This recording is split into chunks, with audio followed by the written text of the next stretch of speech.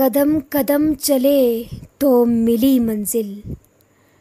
लैलातुल कदर की मुबारक घड़ियों में परवर दिगार आलम ने रहम फरमाया। मुसीबत में घबराया नहीं करता। रात अल्लाह की वो दिन थे रोज़ेदारों के। सब्स परचम चाँद सितारा माओ बहनों की दुआओं का इनाम। एक रहनुमा की नसीहत थाम के इत्तेहाद ईमान यकीन की डोर से बंधे। हम, हमारे ख्वाब बादलों से ऊँचे, दरियाओं से गहरे ख्वाब। हम एक नए सफ़र पे चल निकले। हम आज़ादी के सफ़र पर चंद कदम ही चले थे कि दुश्मन की आँख में हमारी आज़ादी खटकने लगी। हमारे वजूद का एहसास दुश्मन को गिरा गुजरने लगा। जाल बुने जाने लगे। दुश्मन की साजिश बेनकाब हो गई। वादिये दिल पे गहरी रात का साया किसी आसेब की तरह उमड़ आया। वो जन्नत नगीन वादी को जलाने आए थे। वो रात बहुत भारी थी, पर अंधेरे उजालों के आगे कहाँ ठहर पाते हैं? मिट जाते हैं। आगे बढ़ो, फना कर दो की सदाओं में ये जवान बड़े आते हैं। सरबकफ, जान हथेली पे लिए, वो मेरी शान, मेरी आन चले आते हैं। वो छः सितंबर की रात का आखिरी पहर था। ज़िंदा दिलाने रावी अमन की चादर ओढ़े, नींद की आगोश में थे। जो नींद टूटी तो हर तरफ़ आग की फसीलें थीं। साथ के पड़ोसी ने छुपकर वार कर डाला। फिर अचानक एक सदा आई।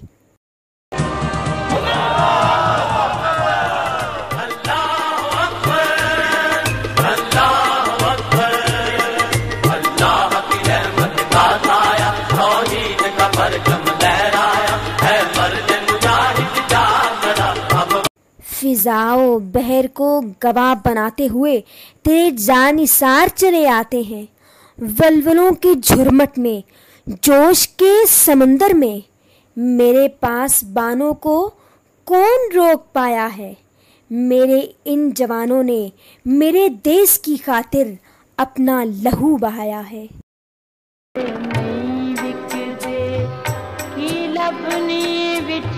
बाज़ार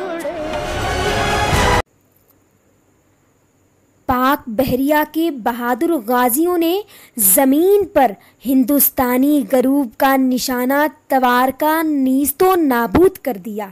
सेसल चौधरी और एम एम आलम जैसे गाजी शाहीनों की परवाज ने दुश्मन की फिजाओं में तूफ़ान भरपा कर दिया। याद है वो वक्त भी? वो वक्त भी आया था जब दुश्मन ने तेरे सब्र को एक बार फिर आजमाया था। वो भूल गया था कि मेरे पास बान जागते हैं। मेजर शब्बीर शहीद निशाने हैदर ने अपने लहू से कुर्बानी की ऐसी मिसाल कायम की, जिसने कौम का सर फ़ख्र से बुलंद कर दिया। नौजवान पायलट ऑफिसर राशिद मिनहाज शहीद निशाने हैदर ने जान दे दी मगर अपने तैयारे को दुश्मन की हदूद तक न जाने दिया। मेरा फैसला है मैं बॉर्डर क्रॉस नहीं करूँगा। I have decided I will not cross the border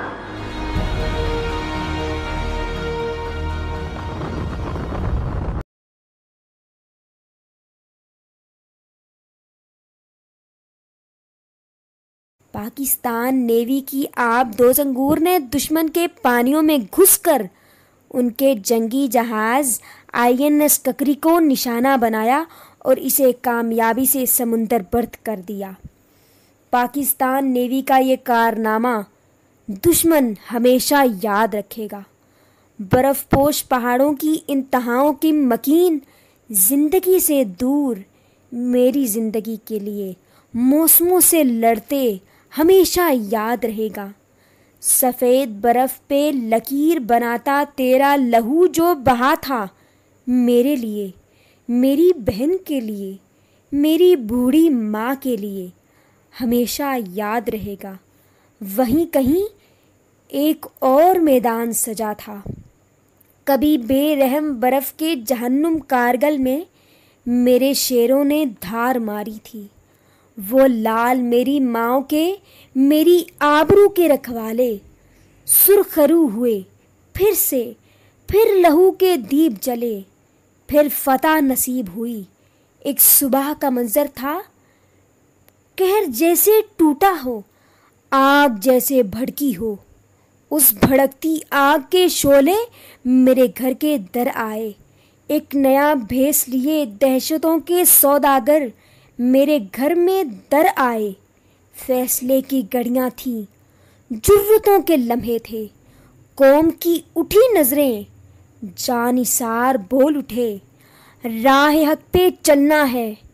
दहशतों के मंजर को अमन से बदलना है। सफाक बेदीन दहशतों के सौदागरों ने मसाजिद बाजारों हत्या के दरसगाहों में भी पढ़ते हुए मासूम बच्चों को ना छोड़ा। इंतकाम की हद थी, जुल्मत की इंतहाएँ थीं। जुल्मतों की बारिश से जैसे अर्श काँप उठा। एक निदा आई, ज़रब अजब लहराई। मेरे जान इसारों का कहर टूट कर बरसा। वो जो ख्वाब देखते थे, मुझ पे गलबे किए। ना वो रहे, ना उनके ख्वाब रहे। मेरी हस्ती में अमन के उजाले फैल रहे हैं। और ये सारी दास्तानें, तारीख,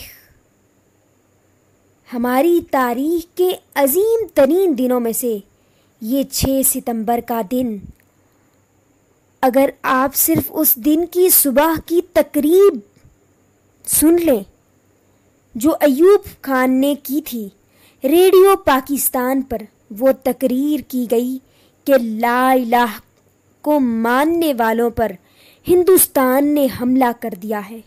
मेरी कौम के हम वतनों, जंग शुरू हो चुकी है। उठो और दुश्मन पर टूट पड़ो। मेरे अज़ीज़ हम वतनों, अस्सलाम वालेकुम दस करोड़ पाकिस्तानियों के इम्तिहान का वक्त आ पहुँचा है। आज सुबह सवेरे हिंदुस्तानी फौज ने पाकिस्तान के इलाके पर लाहौर की जानब से हमला किया। और भारतीय हवाई बेड़े ने वजीराबाद स्टेशन पर ठहरी हुई एक मुसाफिर गाड़ी को अपने बुजदिलाना हमले का निशाना बनाया। पाकिस्तान के 10 करोड़ अवाम जिनके दिल की धड़कन में ला मोहम्मद रसूलुल्लाह की सदा गूंज रही है, उस वक्त तक चैन से नहीं बैठेंगे जब तक दुश्मन की तोते हमेशा के लिए खामोश न हो जाए। हिंदुस्तानी हुक्मरान शायद अभी नहीं जानते कि उन्होंने किस कौम को ललकारा है। हमारे दिलों में ईमान और यकीन मौकम है और हमें ये मालूम है कि हम सच्चाई की जंग लड़ रहे हैं। मुल्क में आज हंगामी सूरत हाल का ऐलान कर दिया गया है। जंग शुरू हो चुकी है। दुश्मन को फना करने के लिए हमारे बहादुर फौजियों की पेशकदमी जारी है। अल्लाह ताला ने पाकिस्तान की मुसल्ह फौजों को अपने ज़ोर दिखाने का मौका अता किया है। मेरे हमवतनों आगे बढ़ो और दुश्मन का मुकाबला करो। खुदा तुम्हारा हामी व नासर हो। आमीन। पाकिस्तान पाइंदबा पाकिस्तान की पूरी कौम नाराए तकबीर से गूंज उठी। हिंदुस्तान ने 6 सितंबर की सुबह फजर से कुछ पहले लाहौर शहर पर हमला किया और उनके जर्नेल ने ये भड़क मारी थी कि हम 11 बजे तक लाहौर जिम खाना में बैठकर शराब पिएँगे और बदमाशी की महफिल सजाएँगे। दुश्मन की ताकत का भी पहले अंदाज़ा कीजिए। देखें, दुश्मन पाँच गुना बड़ा था और अचानक इतना बड़ा हमला करता है कि जिसमें एक एक हमले में पाँच पाँच सौ टैंक इस्तेमाल किए जाते हैं। लाहौर और सियालकोट पर तकरीबन 500 टैंकों के करीब जब हमला होता है और ये दोनों हमारे सरहदी शहर हैं। और हाल ये था कि Pakistan totally caught by surprise आपको वाकयात बताते हैं उससे आपको अंदाज़ा होगा कि 6 सितंबर 1965 का ये वाक़ हम क्यों इतनी पुरजोशी से, वलवला अंगेजी से, जज्बात से क्यों याद करते हैं? एयर चीफ नूर खान साहब, उनकी दलेरी और जुर्रत देखिए। उन्होंने जैसे लीडिंग फ्रॉम फ्रंट लाइन जिसे कहते हैं, उन्होंने कहा ये अथॉरिटीज़ नहीं जाएँगी। जब तक मैं खुद ना देख लूँ, ये कितनी ख़तरनाक है। हमारे लिए दुनिया की तारीख में पाकिस्तान फ़ौज एक वाहिद फ़ौज है, जिसमें ऑफ़िस क्वालिटी रेट सबसे ज़्यादा है। इसलिए कि हमारे ऑफिसर्स आगे बढ़कर लीड करते हैं।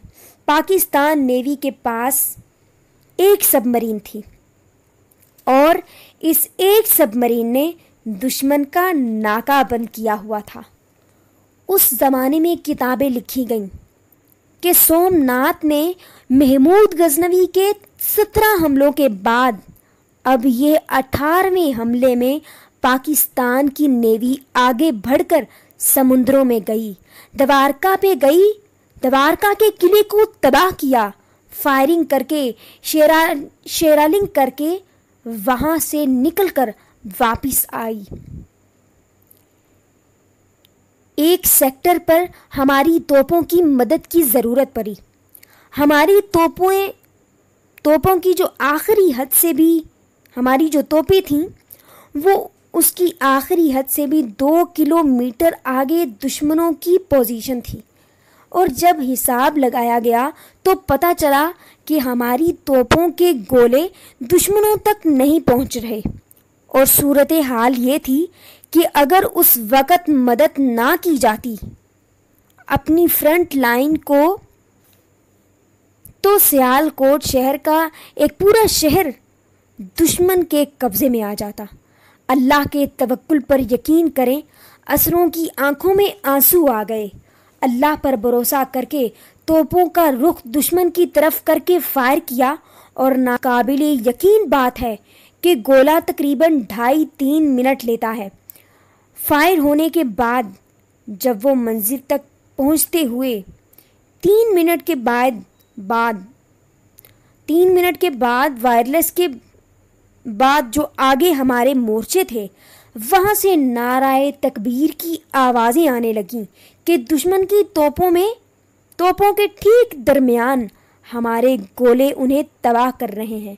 हमारी तोप के आखिरी हद से भी कई किलोमीटर आगे उनके टैंक थे। न उससे पहले कभी इतना दूर तोप ने फायर किया, न उसके बाद इतना दूर फायर किया। उस मौके कर पर जब ज़रूरत थी तो अल्लाह की तरफ़ से तायद आई। हज़ारों वाक़यात ऐसे हैं। ये बातें बुज़ुर्गों ने किताबों में लिखी हैं। आप मुमताज़ मुफ्ती की किताबें उठाकर देख लें। जब पैंसठ की लड़ाई शुरू हुई, मुमताज़ मुफ्ती अपनी किताबों में लिखते हैं कि मस्जिद नबवी शरीफ में अल्लाह के बंदों ने हजूर सल्लल्लाहु अलैहि वसल्लम की ज़्यारत फरमाई। देखा कि अल्लाह के नबी जंगी लिबास में जंग बदर के शहदा के साथ पाकिस्तान के दिफा के लिए तशरीफ़ ले जा रहे हैं कि पाकिस्तान पे हमला हुआ है। हमने उसका दिफा करना है। और ये बातें मुमताज़ मुफ्ती ने लिखी हैं, किताबों में लिखी हैं, अखबारों में छपी हैं। ये बातें मैं खुद से नहीं बता रही। उनको ज़िम्मेदारी दी गई कि रावी के पुल पे बमबारी करनी है। वो पायलट पकड़ा गया। जब उससे पूछा गया कि तुम पुल पर मौजूद थे पुल तो तुम्हारे सामने थे। तुमने बमबारी क्यों नहीं की? कहते हैं, हमें कहा गया था कि वहाँ एक पुल है। मुझे छह पुल नज़र आ रहे थे। ये बातें दुश्मन के सिपाहियों ने की, जिनको गिरफ़्तार किया गया। वो आपकी घोड़ों वाली फौज कौन थी?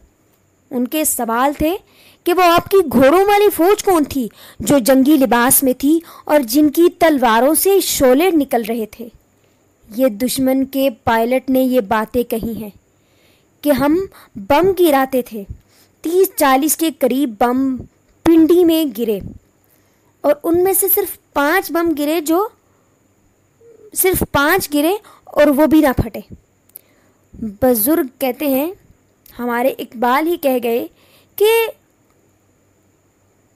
आज हमारी नुसरत के लिए, हमारी फतह के लिए आज भी फरिश्ते मलाइका हाजिर हो सकते हैं, लेकिन हमें उसमें फ़िज़ाए बदर पैदा करनी होगी।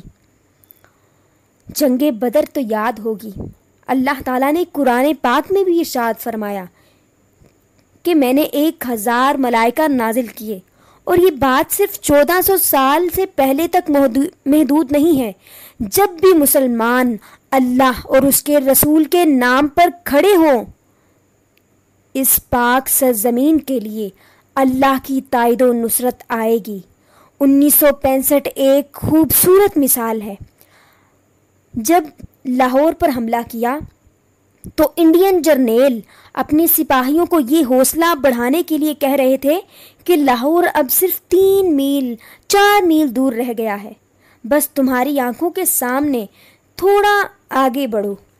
लाहौर तुम्हारे कब्ज़े में है और मज़ाहमत शदीद हो रही थी और पाकिस्तान के जवानों ने उन टैंकों को रोकने के लिए अपने आप को दुश्मन के टैंकों के सामने डाल दिया था। उस कैफियत में लाहौर तकरीबन चौदह मील दूर था।